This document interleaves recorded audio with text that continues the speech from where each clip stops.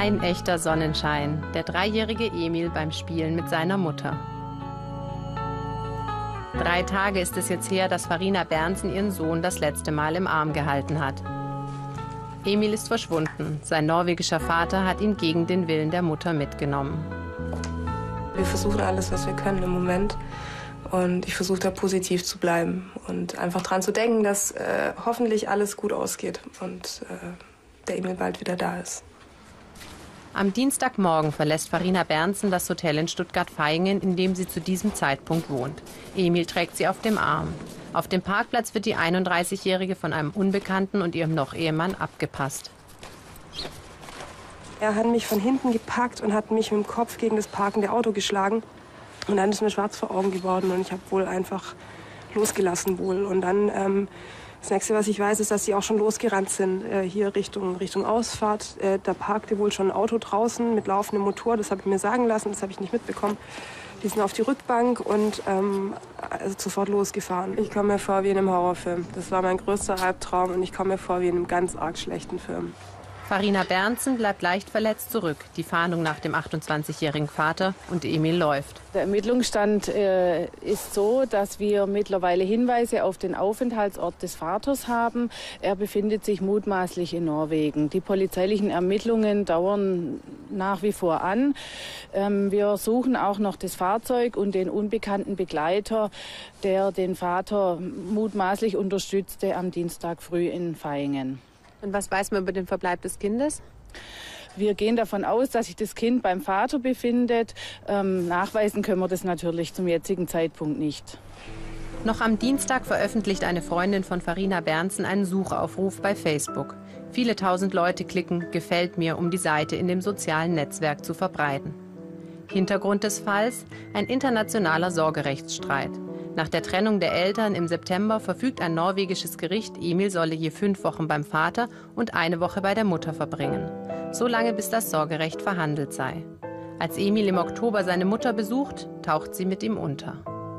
Es wussten alle, also Kripo, Jugendamt und die Gerichte, außer ihm natürlich, weil der Schutz war ja vor ihm. Also deswegen untergetaucht, hört sich immer so an, als wäre ich einfach von der Oberfläche verschwunden. Das war aber nicht der Fall. Es war einfach nur eine Schutzmaßnahme, weil eben genau diese Angst bestand, dass genau das passiert, was eben passiert ist.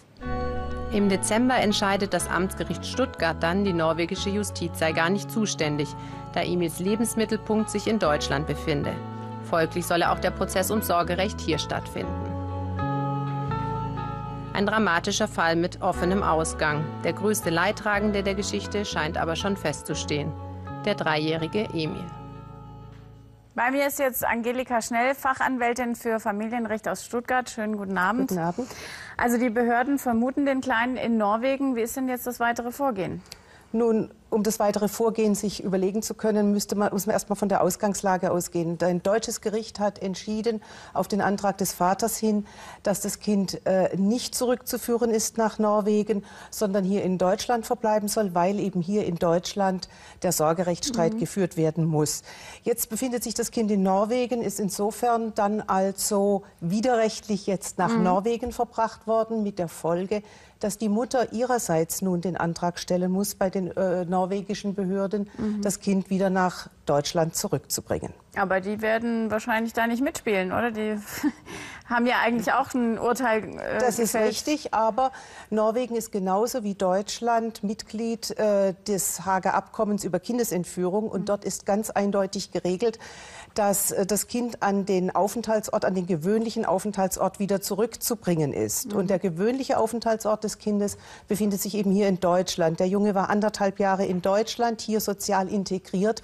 Und die Eltern haben gerade keine Vereinbarung dahingehend geschlossen, dass das Kind nach Norwegen zu verbringen ist, sondern eben erstmal bis zum Abschluss des Sorgerechtsverfahrens in Deutschland bleiben soll. Folglich ist der Aufenthalt mhm. in Norwegen wie, rechtswidrig, mhm. auch wenn ein Gericht entschieden hat.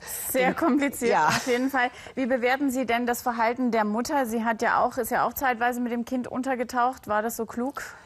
Nun, was hätte sie anderes im Moment tun sollen? In dem Bericht haben wir gehört, sie war in ständigem Kontakt mit den zuständigen Behörden.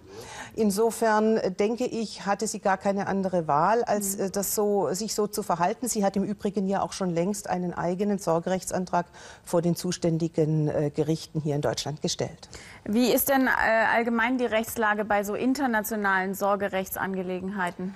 Die ist eigentlich relativ eindeutig, dass das Kind zunächst einmal in dem Aufenthaltsstaat bleiben soll, in dem es sich gewöhnlicherweise während des Zusammenlebens der Eltern aufgehalten hat, eben gerade um solches, ein solches Hin und Her, wie es hier dem kleinen Emil jetzt äh, passiert, zu vermeiden. Und die Behörden, die am nächsten in der, der, an dem Lebensmittelpunkt des Kindes sind, sollen eben entscheiden. Und das sind die Behörden oder die Gerichte, bei denen das Kind bisher gelebt hat. Und so sieht es eigentlich auch das Hager Abkommen über Kindesentführung Regelung vor. Wer ein Kind nach widerrechtlich ins Ausland verbringt, muss es wieder zurückführen, damit im Aufenthaltsstaat entschieden werden kann. Dann hoffen wir, dass der kleine Emil bald wieder zu seiner Mutter kommt. Das hoffen wir, ja. Danke für Ihre Auskünfte. Bitte sehr.